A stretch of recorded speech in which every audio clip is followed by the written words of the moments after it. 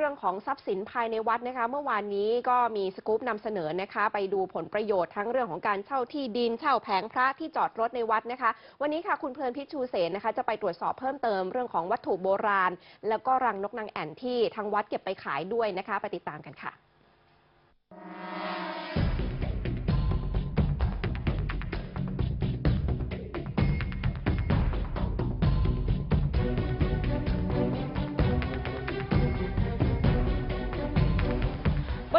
2 ของกุฏิเจ้าอาวาสแห่งนี้เป็นสถานที่ที่ถูกระบุว่าใช้เก็บรวบรวมวัตถุโบราณของทางวัด และยังเป็นแหล่งที่อยู่อาศัยของนกนางแอ่น ซึ่งเป็นรายได้อีกทางของวัดด้วยค่ะ โดยที่ผ่านมานั้นถูกล็อกกุญแจไว้อย่างแน่นหนา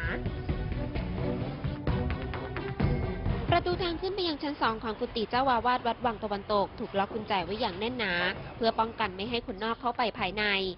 จากการสอบถามคนเก่าแก่ภายในวัดให้ข้อมูลว่า ภายในมีนกนางแอ่นเข้ามาอาศัยอยู่เป็นจำนวนมากเกือบ 20 ปีมาแล้ว แต่ละเดือนสามารถเก็บรังนกได้เดือนละไม่ต่ำกว่า 1-2 กิโลกรัม โดยปกติราคารังนกนางแอ่นจะขายอยู่ที่กิโลกรัมละ 7-8หมื่นบาท ส่วนใครทำหน้าที่เป็นผู้เก็บผู้ขาย และนำเงินเข้าวัดอย่างไร ปฏิเสธไม่ทราบรายละเอียดดูเนี่ยนะคะนกข้าวนกออกมันเยอะไง อืมเดือนหนึ่งได้เยอะไหมคะลุง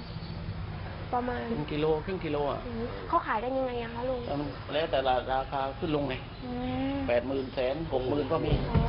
ด้านลุงสมจิตจินตประชาซึ่งเป็นชาวบ้านที่อาศัยอยู่ใกล้วัดแห่งนี้ให้ข้อมูลเขาว่า บนชั้นสองของกุฏิเจ้าอาวาสยังเป็นสถานที่เก็บวัตถุโบราณที่มีค่าไว้ หลังเกิดเหตุการณ์ฆาตกรรมสามเณรปลื้ม ตนและชาวบ้านรู้สึกเป็นห่วง อยากให้มีการตรวจสอบวัตถุโบราณภายในวัดทั้งหมด โดยเฉพาะพระพุทธรูปท่ายืนจำนวนสององค์ขนาดเท่าคน ทำจากเงินบริสุทธิ์และทองสำริดซึ่งชาวบ้านเคยสักการะทุกปีในช่วงงานประเพณีชักพระเมืองนคร ว่ายังคงอยู่ดีหรือไม่อย่างไรพุทธรูปองค์ใหญ่ตาก้นเลยแล้วกับตาหลวกเด่นนั่นแหละสององค์ไอ้องค์รู้สึกว่าจะยกเอาเจ็ดก้นหน่อยตัวยกขึ้นกัน แสดงว่านำหนักก็ไม่ธรรมดานะไล่ไล่เป็นรอยโลมึง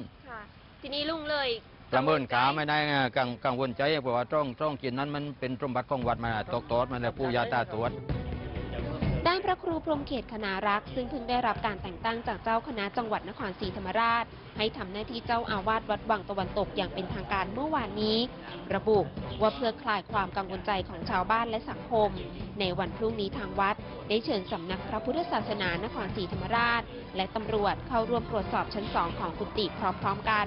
หากพบว่ามีวัตถุโบราณ ทั้งพระพุทธรูปและทรัพย์สมบัติอื่น ๆ อยู่จริง ก็จะทำการขึ้นทะเบียนไว้เป็นหลักฐาน เพื่อให้เป็นสมบัติของวัดและชาติต่อไป ยังไม่มีใครขึ้นไป แล้วก็พรุ่งนี้ว่าจะเชิญทั้งทั้งทุกฝ่ายนะ่ะ ที่มีส่วนเกี่ยวข้องอยู่ จะได้รับคำตอบพร้อมกันอ่าบันทึกลงทะเบียนทรัพย์สมบัติทรัพย์สินของวัดไว้อย่างเป็นระบบต่อไป ส่วนความคืบหน้าการตรวจสอบทรัพย์สินอื่นๆ ภายในวัดวังตะวันตก เจ้าอาวาสระบุมีความคืบหน้าไปมาก อย่างไรก็ตามจนถึงขณะนี้ ยังไม่สามารถตรวจสอบได้แน่ชัด ว่ามีทรัพย์สินใดของทางวัดสูญหายไปบ้าง แต่เบื้องต้นตรวจสอบพบมีบัญชีในชื่อวัดรวม 27 บัญชี โดยบัญชีล่าสุดที่พบ คือบัญชีจากการทำบุญทอดกฐิน เมื่อเดือนกุมภาพันธ์ที่ผ่านมาจำนวนเงินกว่า 1 ล้านบาท ส่วนอีก 26 บัญชี คาดว่าจะทราบยอดเงินคงเหลือทั้งหมดที่ชัดเจนภายในวันพรุ่งนี้ มาจากทั้งคณะกรรมการที่ปรึกษาชุดหนึ่งคณะกรรมการของวัดชุดหนึ่งเพื่อที่จะดูแลทรัพย์สินหรือดูแลสิ่งที่เป็นประโยชน์กับวัดทั้งหมด หลังจากนั้นก็จะนัดผู้ที่เช่ามีส่วนเกี่ยวข้องทั้งหมดเนี่ยมาตกลงกัน วัดวังตะวันตกถือเป็นวัดเก่าแก่ของจังหวัดนครศรีธรรมราช ซึ่งตามประวัติสร้างขึ้นตั้งแต่ปีพุทธศักราช 2380 รวมอายุเกือบ 200 ปี การตรวจสอบทรัพย์สินภายในวัด ทั้งในส่วนของวัตถุโบราณ และพระพุทธรูปอื่น ๆ จึงต้องทำอย่างรอบคอบและรัดกุม เพื่อไม่ให้ทรัพย์ที่มีค่าของแผ่นดินตกอยู่ในมือของกลุ่มใดกลุ่มหนึ่ง เพลินพิษชูเสนสำนักข่าวไทย อสมทรายงาน